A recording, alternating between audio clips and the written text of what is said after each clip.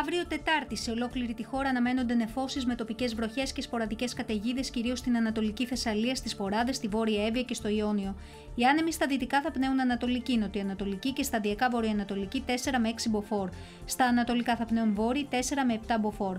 Η θερμοκρασία θα κοιμανθεί στα βόρεια από 3 ω 16 βαθμούς Κελσίου, στα δυτικά και κεντρικά από 9 ω 20 βαθμούς και στα νησιά από 12 ω 22 βαθμούς Κελσίου.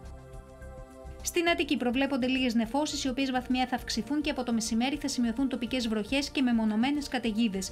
Οι άνεμοι θα πνέουν βόρειοι, βορειοανατολική 3 με 6 μποφόρ, ενώ η θερμοκρασία θα κοιμανθεί από 9 έως 18 βαθμούς Κελσίου. Στη Θεσσαλονίκη αναμένονται νεφώσεις παροδικά αυξημένες με τοπικές βροχές και σποραδικές καταιγίδες. Οι άνεμοι θα πνέουν βόρειοι 3 με 4 μποφόρ, ενώ η θερμοκρασία θα κοιμανθεί από 10 έως 16 βαθμούς Κελσίου. Κυρίες και κύριοι, αυτή ήταν η πρόγνωση του καιρού σύμφωνα με την Εθνική Μετεωρολογική Υπηρεσία.